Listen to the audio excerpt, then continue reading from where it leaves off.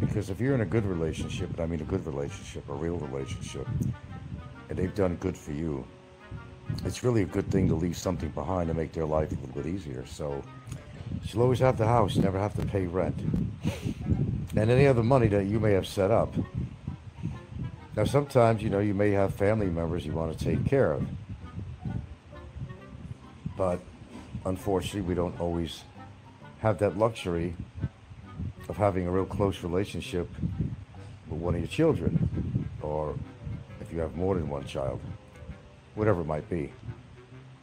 And comes time, you write up a will, same thing. It's really the same thing. Who's been righteous to me, blood or not?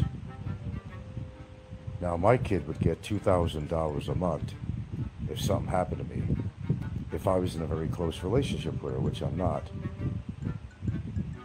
But instead,